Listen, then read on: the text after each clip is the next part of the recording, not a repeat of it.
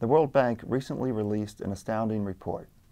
4.5 billion people need access to safe water at a cost of nearly $600 billion. The challenge is global, growing, and complex due to climate change, rapid urbanization, and lack of government funding. We are bringing the power of enterprise to the water sector, an approach that is sustainable, cost-effective, and managed locally.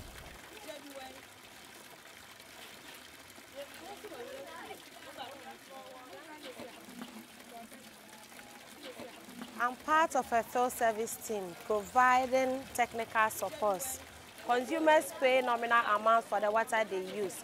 Access points like this one make it more convenient for consumers to get water. Most importantly, these stations are self-sustaining. That is the reason why district assemblies have come to support by funding these stations. Anybody can build a water station, but few can keep it running.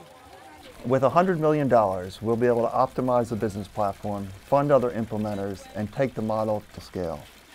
Working together, government agencies, private sector, policymakers, and investors, we're building the tools, know-how, and programs to enable scale.